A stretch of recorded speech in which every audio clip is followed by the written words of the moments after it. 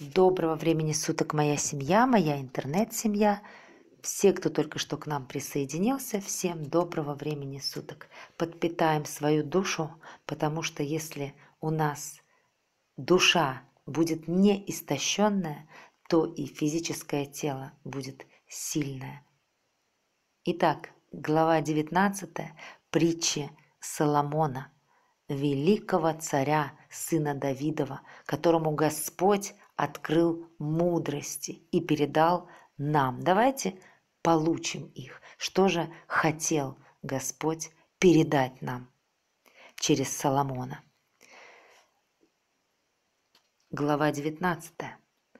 Лучше бедный, ходящий в своей непорочности, нежели богатый со лживыми устами и притом глупый,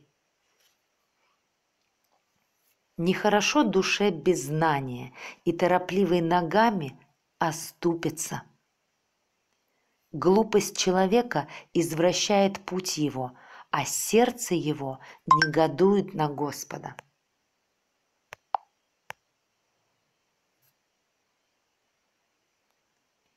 Богатство прибавляет много друзей, а бедный оставляется и другом своим лжесвидетель не останется ненаказанным, и кто говорит ложь, не спасется. Многие заискивают у знатных, и всякий друг человеку, делающему подарки. Бедного ненавидят все братья его, тем паче друзья его удаляются от него, гонятся за ними, чтобы поговорить, но и этого нет. Кто приобретает разум, тот любит душу свою. Кто наблюдает благоразумие, тот находит благо.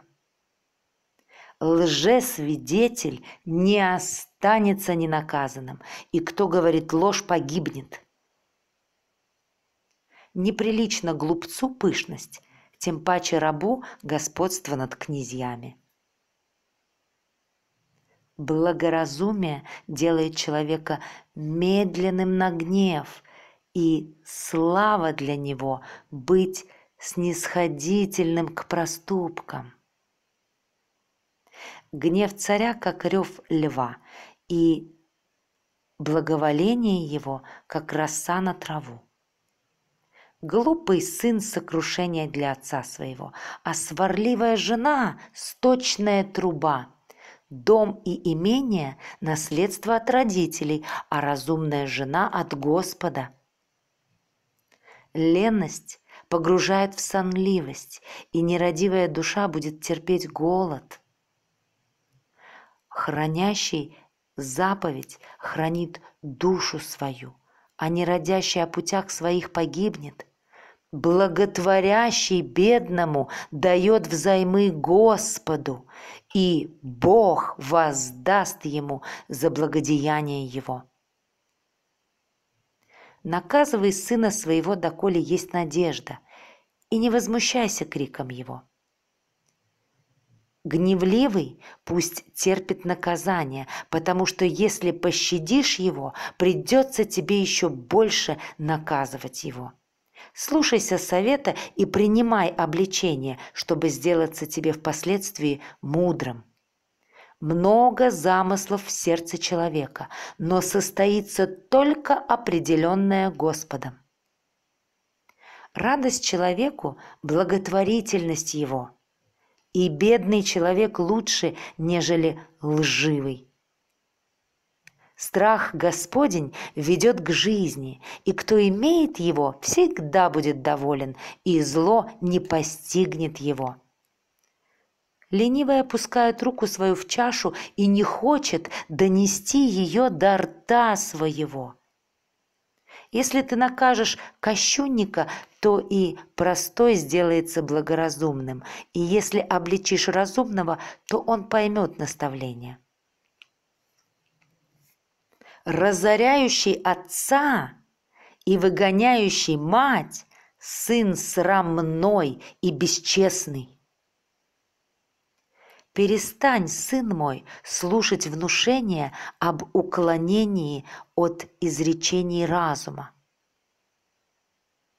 Лукавый свидетель издевается над судом, и уста беззаконных глотают неправду.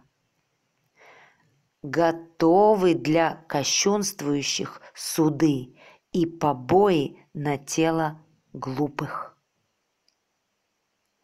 Это была глава 19 притчи Соломона, великого царя, сына Давидова – Именно через этого царя были открыты нам Богом Божьи мудрости. А я люблю вас, и пусть благословит вас Господь обильно во всех сферах жизни, ваших родных и близких. Пусть дарует Господь Бог вам здоровья, радости, здоровья физического, здоровья духовного и ментального здоровья. Пусть дарует вам Господь.